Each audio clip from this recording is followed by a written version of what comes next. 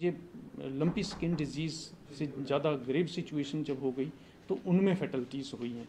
मैं आपके माध्यम से अपने सारे किसान भाइयों को ये आग्रह करना चाहूँगा कि अगर थोड़ा भी उनको इसके सिम्टम्स आते हैं, जैसे बुखार आता है या नोज़ल डिस्चार्ज होता है, आँखों से पानी निकलता है तो तुरंत ये इंफॉर्मेशन हमारे एनिमल हस्बेंड्री डिपार्टमेंट को दें और अपने एनिमल का इलाज करवाएँ।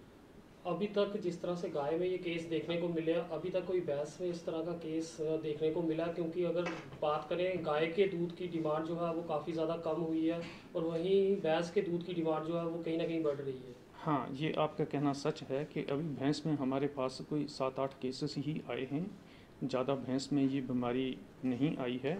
और जो हमारे क्रॉस ब्रेड एनिमल हैं, जैसे जर्सी है, एचएफ है उनमें ये बीमारी ज़्यादा देखने को पाई है, यानी जिस एनिमल में इम्यूनिटी ज़्यादा है, उसमें ये बीमारी बीमारी कम प्रभाव करती है और जो क्रॉस ब्रेड एनिमल जैसे जर्सी है एचएफ है, उनमें इस बीमारी का ज़्यादा प्रभाव देखने में पाया गया दूसरा, जो आप दूध की बात कर रहे थे, अभी तक जो हमारे पास प्राप्त जानकारी है, उसके अनुसार ये डिज़ीज़ वायरल है और जोनोटिक नहीं है। यानी कहने का मतलब ये ह्यूमन बींग्स में एनिमल्स से ट्रांसमिट नहीं होता है।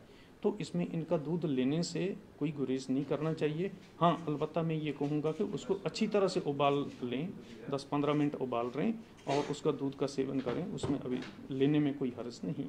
सर, आप लोगों को क्या सलाह देंगे? क्योंकि हमने देखा तवी नदी पर कई सारे जो पशु जिनके मरे थे, उन्होंने तवी नदी पर उनको जो है वो छोड़ दिया उनको क्या सलाह देंगे? क्या ये उससे भी फैल सकता है और कहीं से फैल सकता है? बिल्कुल फैल सकता है। इसी मामले में मैंने अपने डिपकॉम साहब से भी एक मीटिंग की थी और मैंने उनसे ये रिक्वेस्ट किया था कि जो हमारा खासकर स्ट्रे एनिमल है तो स्ट्रे एनिमल पे हमारे जो म्यूनसिपल कमेटीज़ हैं उनके माध्यम से इन पर अंकुश लगना चाहिए क्योंकि ये carrier of viral disease lumpy skin disease हो सकते हैं।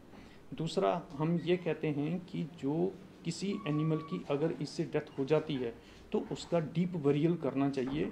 इस तरह कार्कस को रोड साइड या किसी दरिया या नाले के किनारे छोड़ना, ये गलत है और इससे भी जो डिज़ीज़ है, वो फैल सकता है। इसलिए मेरी ये सलाह है कि जिस किसी का अगर एनिमल इससे ख़त्म हो जाता है तो उसको डीप बरियल करें, इस तरह ना छोड़ें।